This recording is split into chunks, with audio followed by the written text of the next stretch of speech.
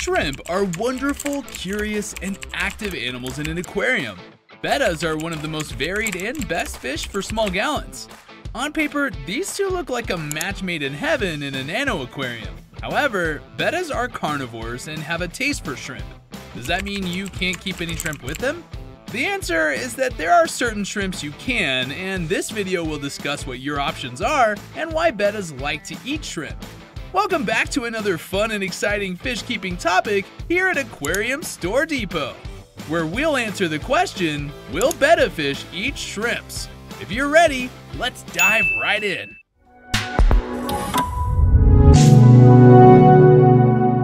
Popular freshwater aquarium fish known for their vivid colors and elegant fins are betta fish, also called Siamese fighting fish. But as any owner of betta fish will tell you, these fish are hostile amongst themselves, and may be hostile to other species too. We'll answer the question today on whether bettas will or will not eat shrimp. But before that, let's look into why.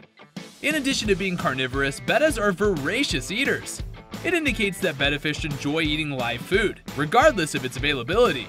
Even sick or injured tank mates will not be spared by a betta fish. They are predators by nature, but would there be a variety of shrimp that will serve as a good companion for these bettas? The answer is yes. The biggest issue with shrimp is their size. Always consider the size of your shrimp before selecting the ideal one for your betta tank. Betta fish seem to prefer smaller shrimp as food, so pick a shrimp that is as large as or larger than your betta. The riskiest type of shrimp to place in your betta tank would be cherry shrimp. That's because they're small in size, with the male cherry shrimp growing only about an inch in length while females tend to grow a bit larger. Either way, the chances of your cherry shrimp being eaten by your betta fish are pretty high. But what if, even after all these warnings, you still want to keep your betta fish and red shrimp together? Well, you still can, but there's a chance it will get eaten. Since I know hobbyists are going to try it, here are some tips to decrease your chances of your shrimp becoming a meal for your betta. First, you have to make sure your fish are already living together. See, if you're gonna eat an unfamiliar food instantly, it's either you're gonna spit it out or love it. So, in order to consume it all, you have to make yourself familiar with it bite by bite. It's the same way with your fish. If your betta fish has ever been introduced to a shrimp, chances are they'll attack them right away. Thus, in order to keep them in harmony, I suggest getting a betta fish that already lives with shrimp and other small fish. This way, it'll act less territorial and aggressive towards these poor little shrimp, and make great tank mates for them instead. Second, having plenty of hiding space will actually do some good. Shelter is going to be your number one deterrent. Along with the size of the tank, make use of driftwood, caves, and live plants. That way your bettas can feel secure and be less aggressive. A heavily planted tank is highly recommended if you're dead set on keeping cherry shrimp and bettas together. And third is by getting a big tank. Keep your cherry shrimp out of your betta sight by providing a tank big enough for them to swim freely. If you intend to keep your cherry shrimp and bettas together, I suggest getting a tank no smaller than 20 gallons, with a 20 gallon long being preferable over the high version. Amano shrimp can also make excellent tank mates for betta because they can reach a length of over 1 inch with an average lifespan of 2 to 3 years. Unlike cherry shrimp, Amano shrimp also showcase dull colors that don't pique your bettas to attack them aggressively. If your betta fish has shown aggressive and territorial behavior in the past few days, it's highly likely that it will attack the Amano shrimp as well.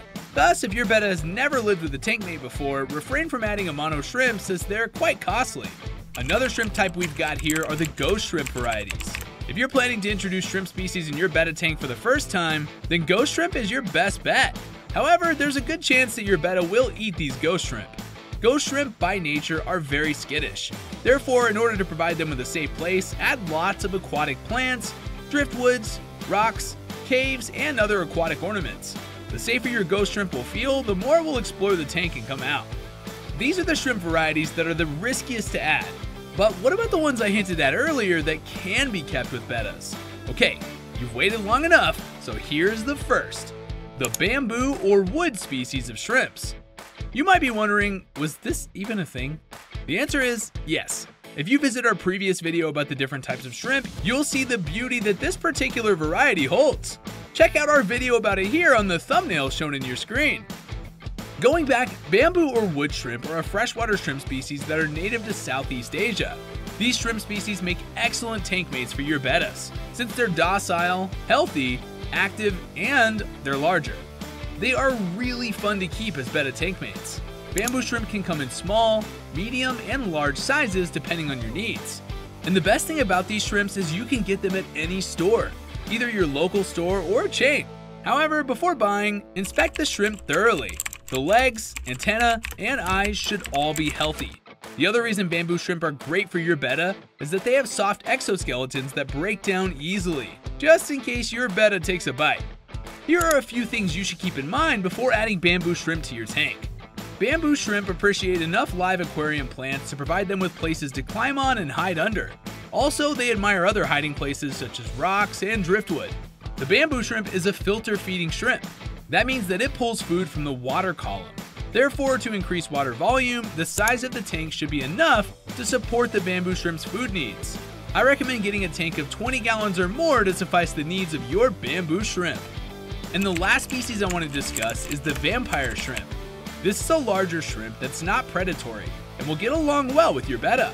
Like the bamboo shrimp, they are filter feeders and will need a larger planted tank in order to get the food they need. They also need a faster flowing tank, which would conflict with the betta.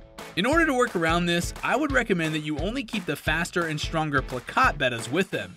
Fancy fin bettas will struggle and stress out in higher flow environments that vampires need. Also, consider a heavily planted tank that's over 2 feet in length, so you can step up a lower flow section for your betta. And there we have it, the answer to our question. Do betta fish eat shrimp, and what are the available variety of shrimps you can add in your tank? Was that all? Of course not, because I still got something here for you. When it comes to feeding betta fish and shrimp, all you need to think about is betta food. Because shrimps are scavengers, they'll eat anything provided. Thus, when you provide your betta with high quality, nutritious food, know that your shrimp is well fed with whatever you feed them.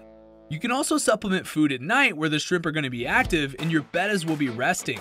Sinking food are best for shrimp to ensure they get the food they need without it going to waste. When it comes to shrimp, there's no difference between a male and female betta as they both can get aggressive around small shrimp. However, the biggest shrimp is out of the league of your bettas because it can't fit in their mouth. For this reason, dwarf shrimp species such as cherries are not suitable to keep with your bettas. When judging the size of your bettas, the male betta is larger than the females. Therefore, consider a female betta to be a more compatible tank mate for those shrimp. Ah, watching betta fish in your freshwater aquarium is a delightful experience. They're a stunning creation of nature. Nonetheless, they are curious creatures and they're predators. Consequently, experts advise against keeping them alongside main species of shrimp. If a betta is really hungry or feels intimidated by your shrimp, it will attack and will devour it. I know of several fish keepers who have reported that their betta fish attacked their shrimps out of the blue and without any warning. So, I hope you were enlightened with our topic today, fish keepers. If you happen to seek more information about this topic, you can visit our official website at www.aquariumstoredepot.com, where all your further questions will be answered. We always go into more detail in our blog posts and keep everything up to date there. Well, that's it for me. We'll see you in the next topic. As always, thanks for watching.